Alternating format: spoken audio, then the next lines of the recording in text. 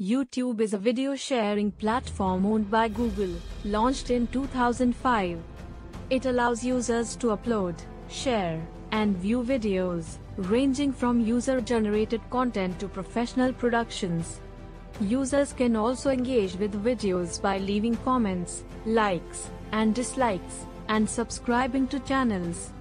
YouTube has become one of the largest and most influential social media platforms in the world, with over 2 billion monthly active users and over 1 billion hours of video watched every day. It is available in more than 100 countries and supports over 80 languages.